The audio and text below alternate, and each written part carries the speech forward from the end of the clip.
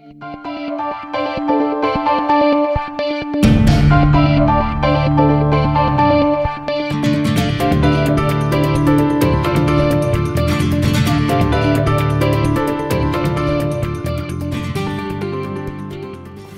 um, a luting cement, we have a cement which is less filled, and everything which is less filled has a higher shrinkage.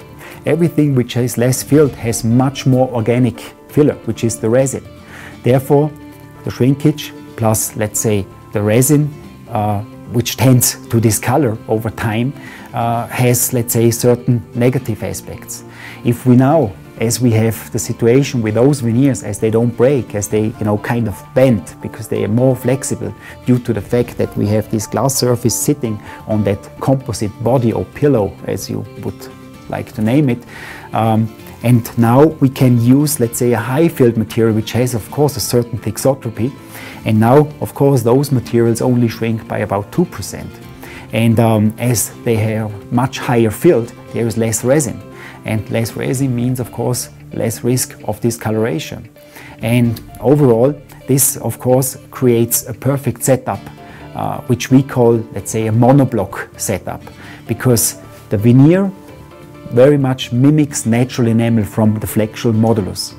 Now, underneath, we have a restorative material, of course, which in this case we use as a cement and also as the material which provides the final color uh, which is somewhere between natural enamel and dentin from the flexural strength. And then we have the tooth. And so when we do masticated tests or thermocycling tests, this is why we say this is kind of a monoblock because we have a very, let's say, equal distribution of forces or let's say by temperature changes, shrinkage or expansion, where they kind of manage together.